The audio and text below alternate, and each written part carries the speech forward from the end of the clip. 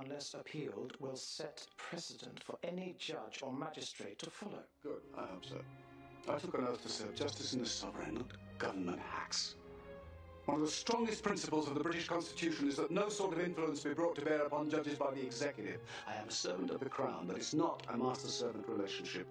The Crown hasn't had that sort of power over judges since James I lost his battles with Chief Justice Coke in 1607. It chiselled the independence of the judiciary into bedrock. It is not an instrument of the state, no matter how much you'd like it to be. As Denning says, I have a constitutional liberty to be free in thought, independent in judgment, and free from fear. Look to my authority. Go on. Queen and Newton, 1982. It's over there. Court of Appeal says that in a case where a guilty plea has been entered, a judge can hear evidence on both sides with witnesses and act as his own jury in both fact and law. You're not doing that. You're hearing evidence the charge is not even on the indictment. The man pleaded guilty. The only submissions should be from medics or the probation service.